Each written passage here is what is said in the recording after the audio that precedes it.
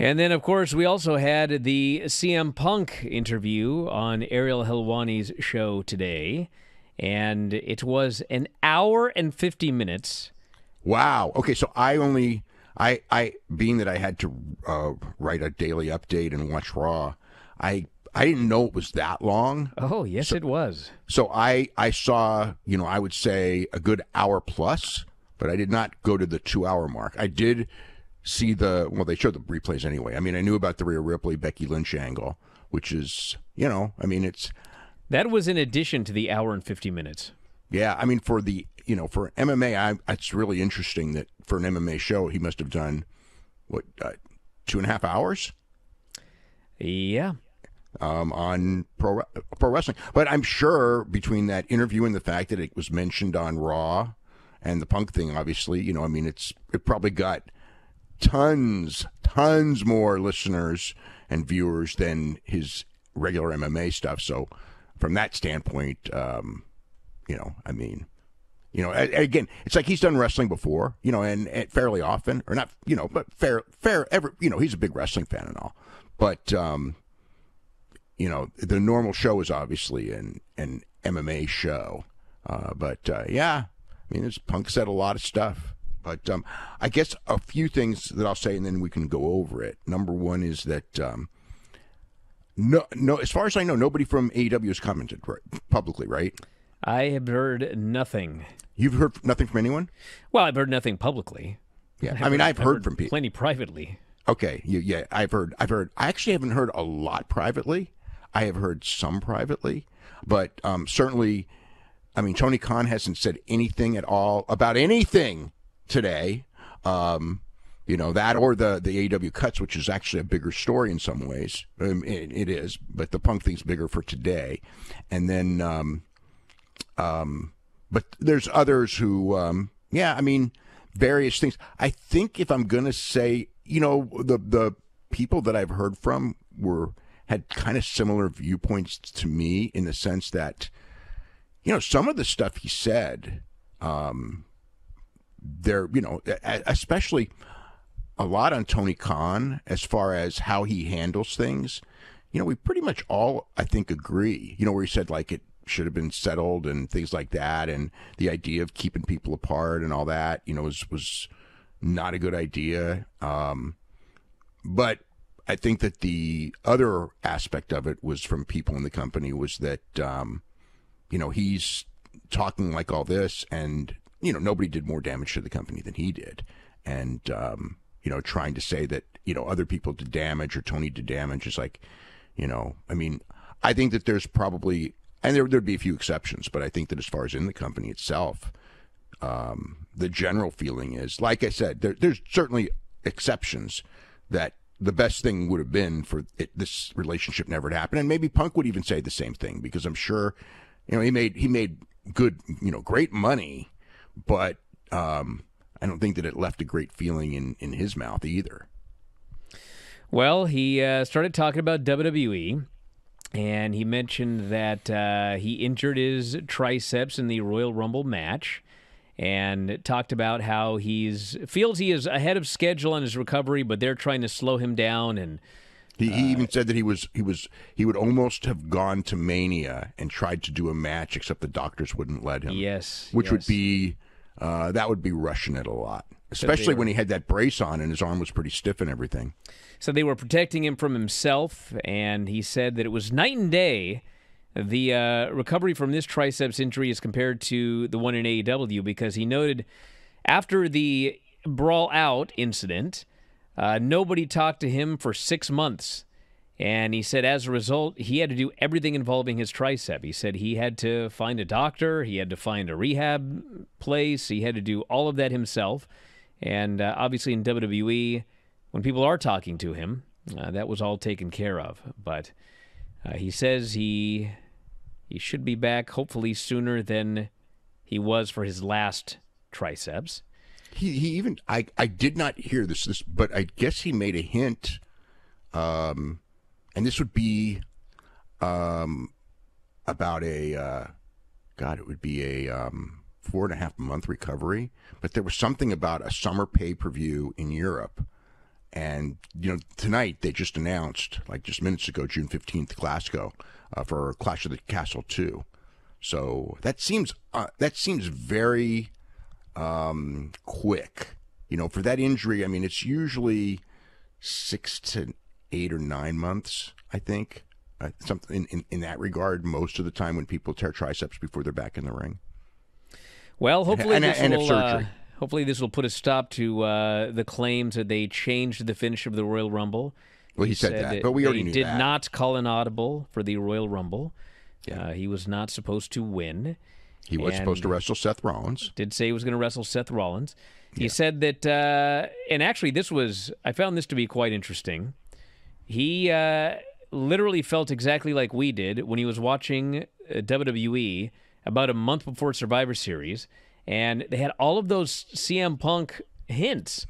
They had they had people doing the GTS. They had lines from some of his earlier promos, and he said people were calling him and saying you're going to come back, and he was like, I have no idea what's going on. I don't know why they're doing this, and he said that they uh, they talked the Monday before the Survivor Series, and So uh, five days, it was right? five days before he talked to Nick Khan, and then he was going to talk to Paul and uh, Paul Levesque, and Paul. That was that, that was Thanksgiving, which Well, was two days before. Yep, Paul said I want to FaceTime you, and so they FaceTimed, and they uh, they did the deal, and they uh, made the agreement for Survivor Series, and he said that uh, you know they they basically figured he must have some no compete or something, so they were thinking about maybe having him come back for the Rumble. I- you know what? He said he I- had I- no. I- Okay, I, the thing is, is that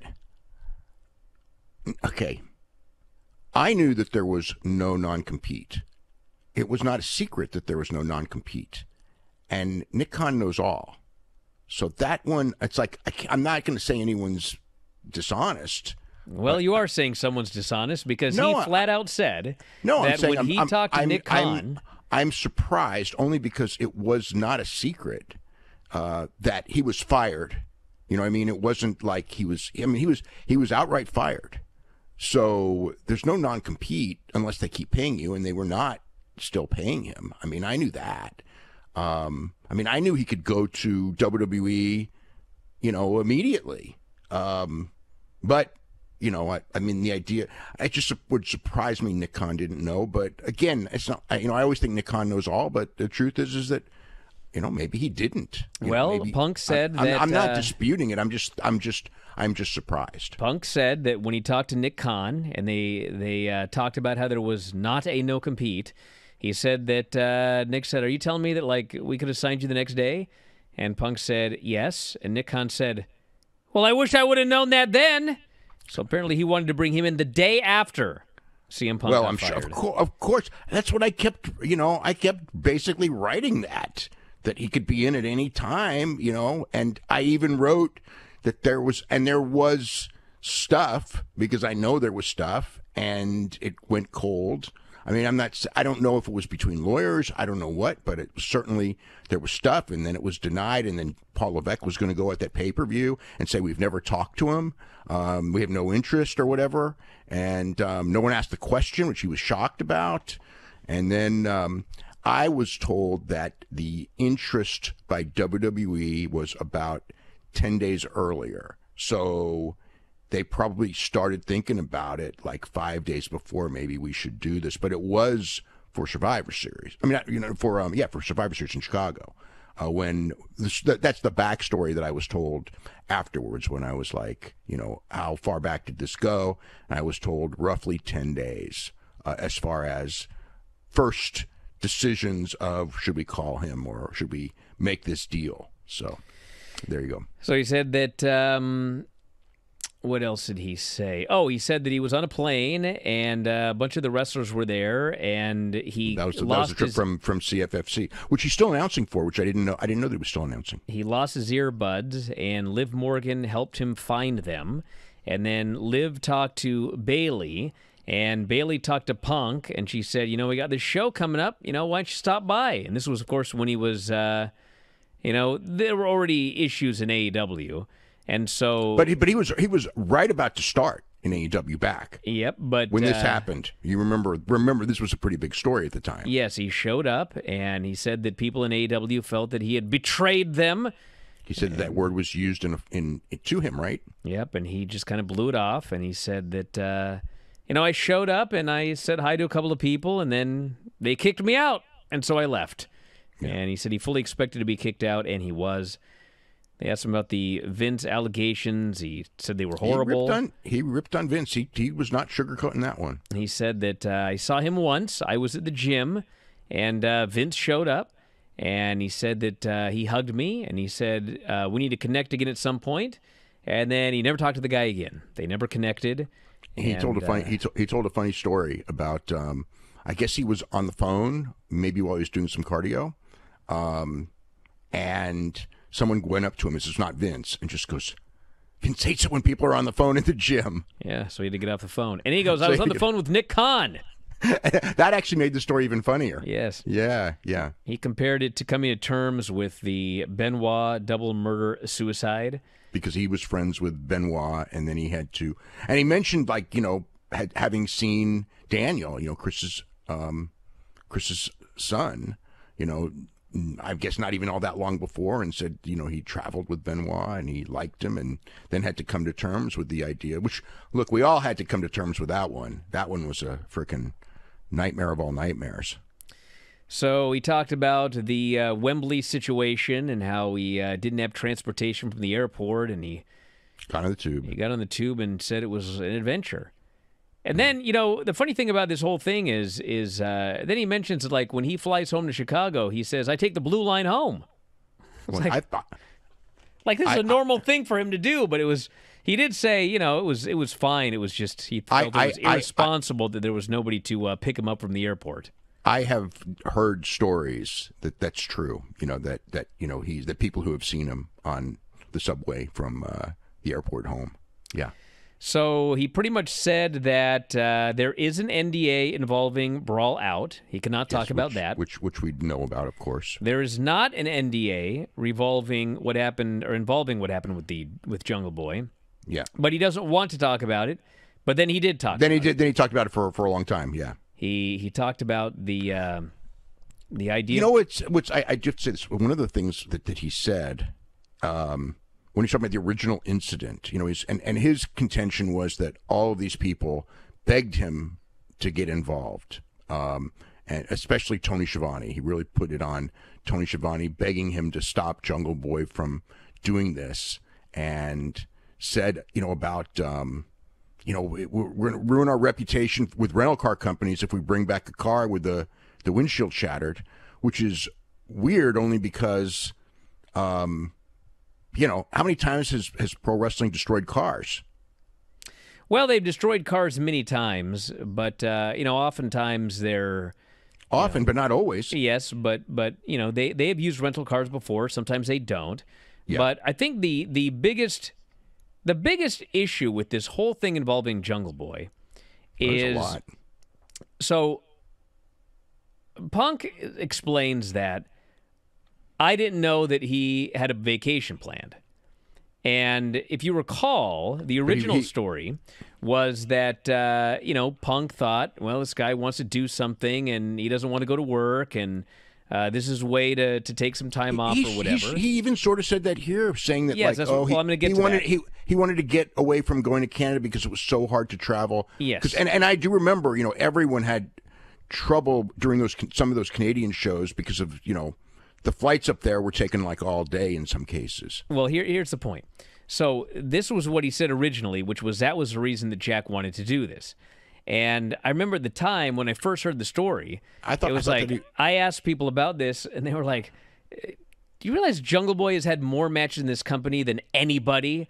Like well, of we- all the people to claim is trying to do something to not go to work, you you picked literally the worst person because he works all the time. Yeah. Well, So- I mean, it, he was a plan. It was a planned vacation. Well, When- yes, yeah. he was going to go on vacation. He wanted to do this deal, and and he was told to get a car. So at the end of the day, like whether it's Tony Schiavone or the Doctor or CM Punk or Jungle doc- Boy, I, I personally, I think that they should listen to the doctor. well, the point is, And and and if that's and if that's the case, the doctor should have. but hold on, you're missing the point here. The point is, Yes. Who told him to rent a car? Tony?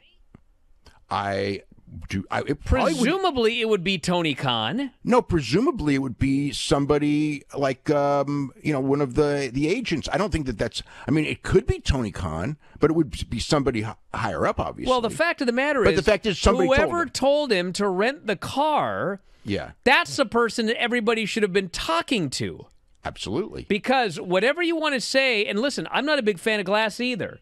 You know, I don't think people should be taking bumps in glass. But the fact of the matter is, Jungle Boy was told a certain thing. Everybody was telling him not to do it. Where's Tony? Well, Tony's n- oh, that, that's that's another issue that was brought He has up. no phone? Like, seriously, in a situation like this, at the end of the day, Oh, of course, it's Tony. why is nobody just going straight to the top and calling Tony and saying, Are we doing this or not? That's my question about all. and especially especially because Tony is at every show. It's not like Tony is, you know, there's th- like a week. Sometimes maybe Tony's away for soccer and he's not at the show. He is at every show. He- He is the only person, as far as I know, there may I don't think there's an exception who has been at every single AEW show. So uh, they did the whole thing, and then uh, you know he said that uh, Punk said that I told him, you know, we're not doing that on on my show. If you want to do it, you can do it Wednesday.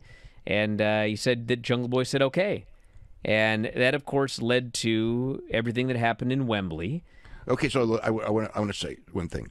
When this happened, um, when this thing happened, and I first heard about it, and I did not report it because I was basically told, and I know you were too. It's all settled. It's not a big deal, and and never heard about it again until Punk months later brought it up. The uh, Wembley. No, Which the, one are you um, talking about? The the, uh, the the the whole story with um, the glass. When did he bring it up later? Well, wasn't that the whole thing where um, he talked about? Was it? How did the glass story get out? I don't even remember how the glass story got out. I mean, that's what I I thought. I don't remember. I, thought everything was settled, and he talked about it. I, I- could be wrong. I, I- could be wrong about that, but that's how I recall. Yeah, I, I don't remember. I just know that I knew the story, and then Wembley happened. I knew the, I knew the story, and then we were at Wembley, and then he said Crimea River, and I remember seeing that, going like, "Ah, God, it's like you know, I, I don't like that stuff. I don't like that stuff, and like I said, I would not defend him for saying that, but the reaction was an overreaction.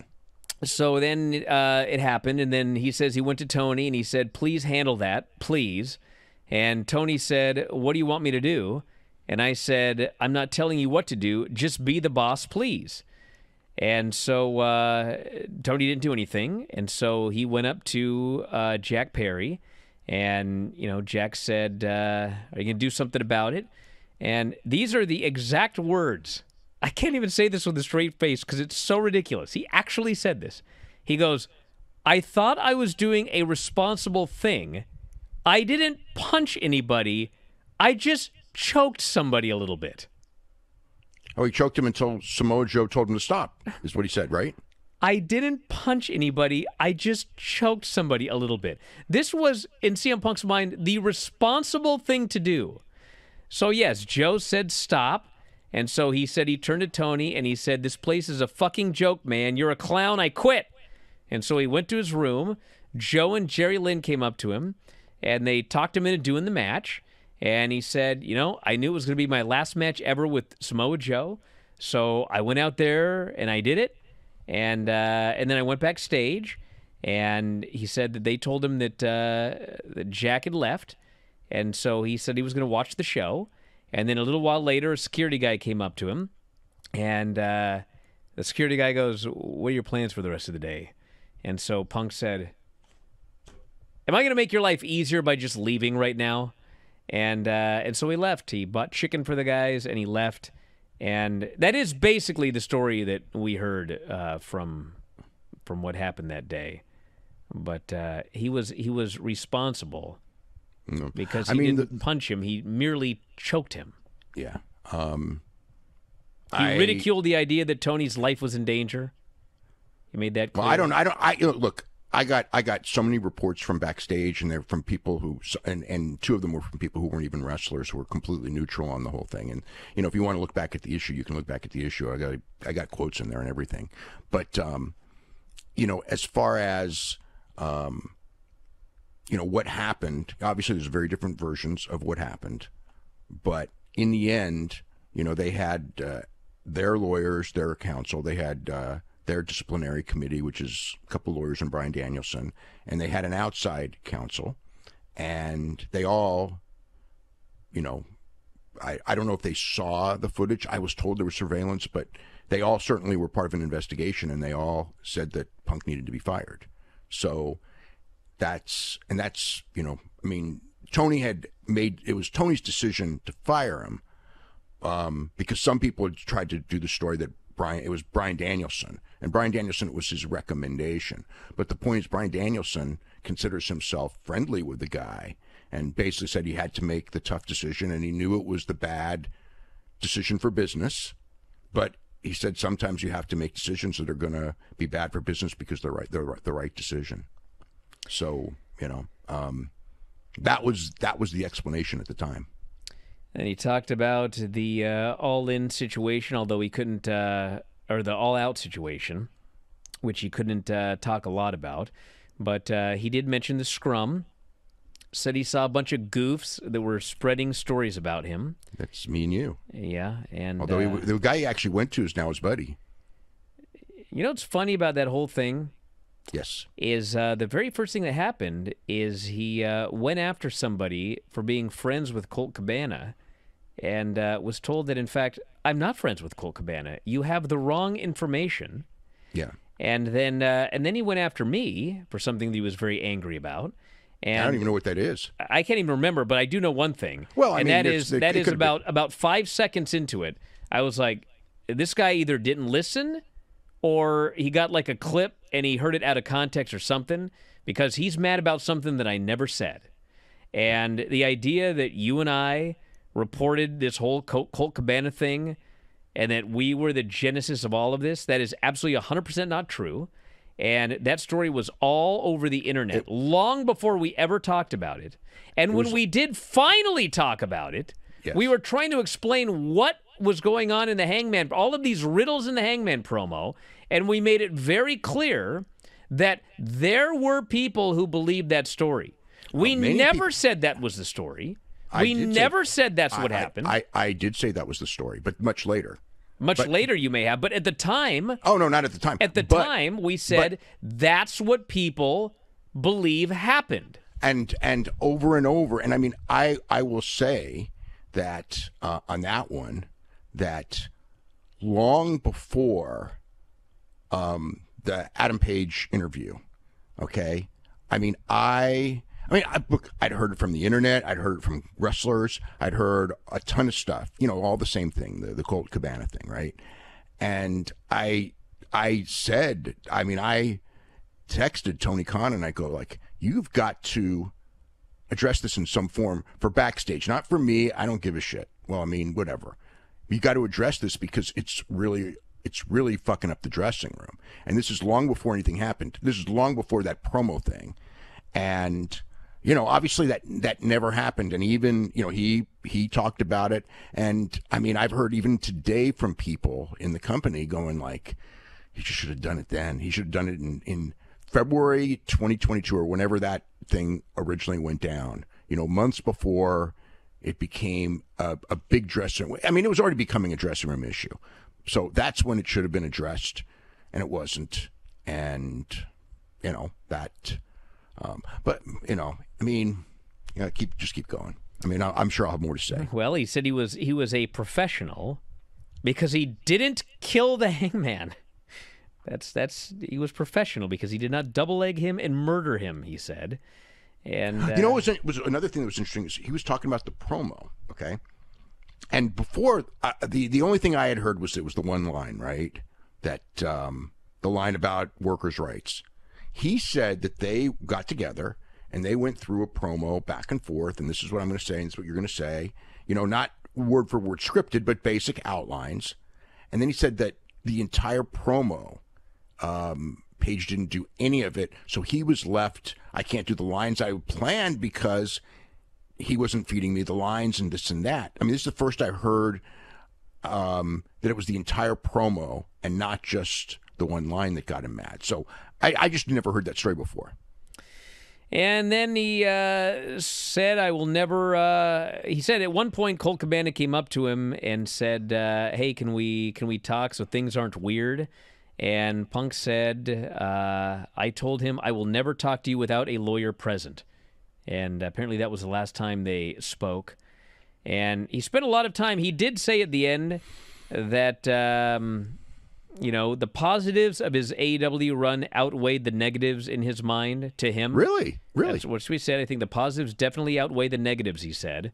Mm-hmm. But he spent a lot of time um, essentially saying that Tony Khan is a nice guy, but, uh, you know, we're not promoting wrestling.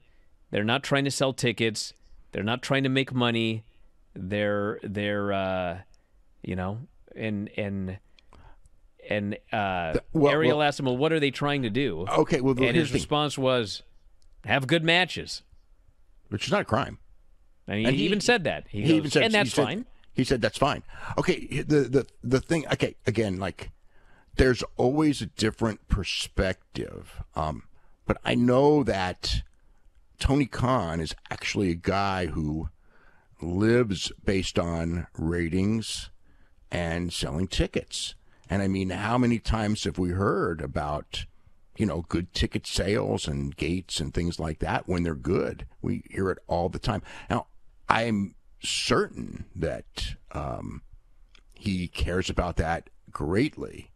And when it's ba- bad, you know, he's aware of it. Now, how he addresses it and things like that. But I mean, as far as the goal, I mean, that's the goal. It's everyone's goal. Everyone's goal is to you know make money and to uh, have a you know have a successful thing. And for a lot of the period, I mean, this has been a, it's five year company.